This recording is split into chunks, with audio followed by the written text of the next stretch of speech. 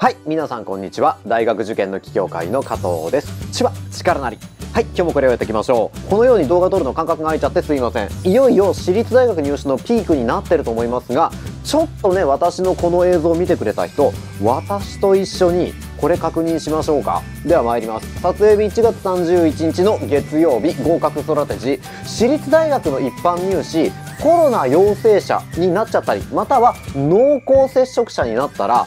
不先輩ですか？っていうことについてご質問いただくことがありますのでいろいろな事例を想定し細かく場面を考えながらお話をまとめてみたいと思います。でまずコロナの陽性になっちゃったっていう子大学入学共通テストはちょうどえ昨日とその前にやっていたえ追試日に行ってくるということになったとも思いますし保健所指定の濃厚接触者になってしまった場合別室を設けて動線も分けた上であなたはここで受験してくださいという措置を取られたと思うんですがあんなことやってくれるのは大学入学共通テストだけです基本的に。私立大学の一般入試だとあんな手厚いフォローっていうことをしてくれる方が稀です。まず今の話をよく覚えておいてもらうといいです。あれを基準に考えちゃダメだよってことを皆さんと共有してみたいと思います。で今厚生労働省から言われてることっていうのが濃厚接触者になったら基本的に症状が出なくて PCR 検査陰性であっても行動制限家から出ないでくださいねっていうことを言われるのが7日間っていうふうに言われますね。で万が一ですけどその7日間の自宅待機の期間中にやっぱり陽性ですねっていうふうに出てしまったら絶対に外へ出ないでくださいね。買い物も行かないでくださいねっていうふうに言われるんですよね。したがってこの事案に遭遇する場合っていうのは最悪自宅から出ないでくださいねっていう行動制限を一番最初の濃厚接触だよっていう指定を受けてからどうでしょう？それから症状が出て完治するまでっていうと2週間いやもっとかかるんじゃないかなっていうふうに勝手ながら想像するんですよね。したがって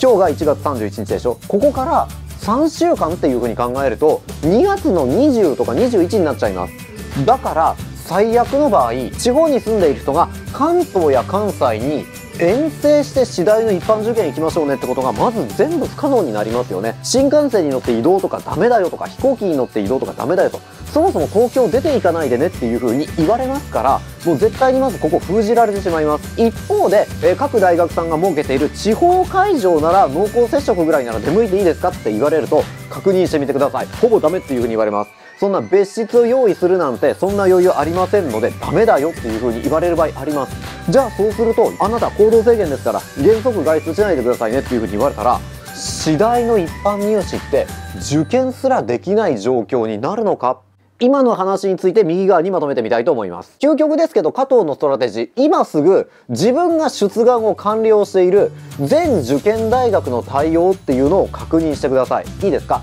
自分が受験を予定している大学って私濃厚接触者になったらコロナ陽性になったらどのように対応してもらえますかっていうことは大学それぞれによって対応が全く異なりますから必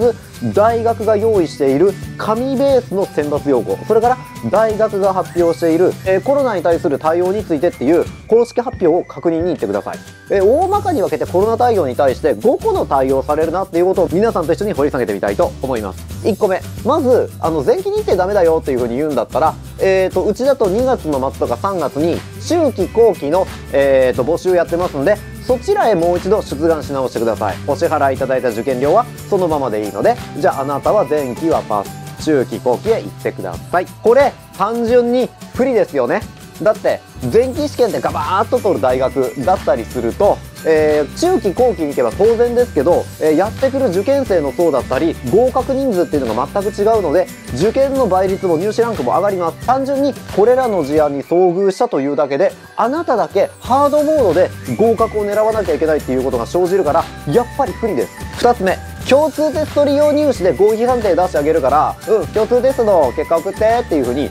急に言われます。特にですけど今の話が出てしまうのが共通テストプラスで出願してる子。あのいわゆる共通テストの科目3個か4個とかと一般入試の受験をして1科目2科目ミックスして合格出すよっていう場合に「あすいません僕あのコロナかかっちゃったらしいんで一般受験いけないんですけど」って言うと「あ分かった分かった。じゃあプラスじゃなくて共通テスト利用の方で出すからはい結果ちょうだい」とか言うんですよね。そうすると自分にとっては共通テストプラスの方が圧倒的に戦いやすかったにもかかわらず共通テストリアあ僕ね実は数学ボコボコやったんでこっちでは本当は出したくなかったんですけどっていう状況でスッと出すとね不合格食らいますからもう明らかにやっぱり自分の最も有利な入試方式で戦うっていう戦略をとって出願していた子に関しては圧倒的に不利になります。3番のような対応してくれる大学は一番助かりますよね。あのコロナかかっちゃったっていう子追試日用意しますんでこの追試日に試験受けてみてください。一般入試のこと追試のこと同じように判定出しますんで受けてください。少なくとも同じ問題が出てくるとは限らないと思うんですけれども一番、えー、不利にならない救済策だと思います。これをやってくれる大学だったらありがたいなというふうに思っててくださればいいです。コロナ陽性になったらもう試験場来ちゃダメだよって言われるのは当たり前なんですけども濃厚接触者になった場合って別室受験させてあげますから一定の要件を満たしたら大学来てくれていいですよっていうとこあります。ただちょっと私気になったので今名古屋にある南山大学ってどう対応するのかなっていうことをホームページ見て確認をしてみたんですけど南山大学は別室受験させてくれます。ただし地方会場ではダメ。名古屋にあります南山大学まで出向いて試験する子に限り別室用意できますんで所定の書類をちゃんと自分で作ってきて PCR 検査受けてきて陰性であり当日体調に特段の異常がないですっていう子に限り OK だよっていう大学入学共通テストとほぼ同じ対応してくれるっていう大学もあります。ただ繰り返し言いますけどこっちですよ。地方会場はそういうことをしてくれないので遠方からわざわざそうすると公共交通機関を使って大学まで直接行く。今のも封じられるんですよ。公共交通機関使うなって言われますから何で行きます？マイカーで行ける人はまあいいんですよ。ただえ受験生の全員が全員大学から車で割と来やすいなんていう位置に住んでるってこともないと思うんですよ。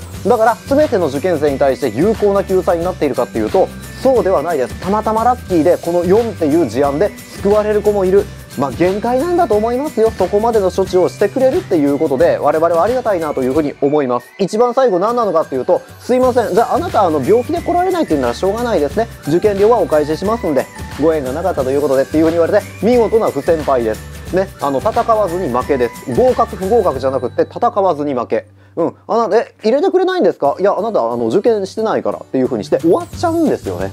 緑の事案のことをやってくれる大学以外に関しては極めて不利になるぞというふうに判断せざるを得ない。だからそもそも、えー、共通テストを終えた段階の時点でうちのね塾生だとこういうことやってたんですよ今時期にこの話するなって言われるかもしれませんが加藤の結論受験戦略が大きく崩れるのはもうこの話聞いてくれればわかると思いますんで今年の受験に限り皆さん保険かけてますか？絶対に浪人しないよっていう子であれば絶対に合格をしているはずだというふうに見込める共通テスト利用を絶対にあの大学なら私は大丈夫というところを出願している。やってますか？でまたは2月の1日から2月の5ぐらいまでに集中的に次第の一般入試行くっていうことであれば時期を分散させて同じ大学でも中期日程にちゃんと出願しているか具体的に言うと愛知学院大学の中期だったり、えー、と名城の B 方式だったりエントリーしてますか？そういうリスクヘッジちゃんと取ってるかなっていうことが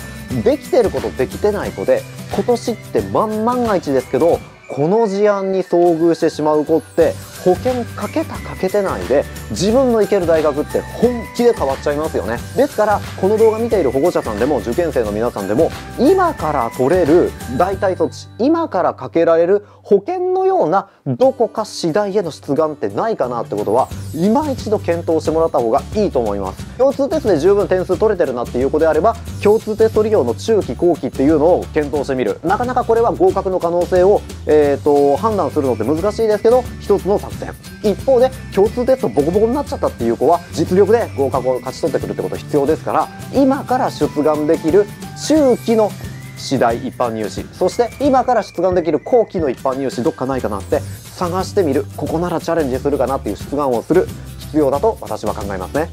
はい最後までご視聴いただきありがとうございました。この動画ね役に立ったよって思ってくださった方グッドボタンチャンネル登録グッドボタンチャンネル登録どうぞよろしくお願いをいたします。それでは次回の動画もお楽しみになさってください。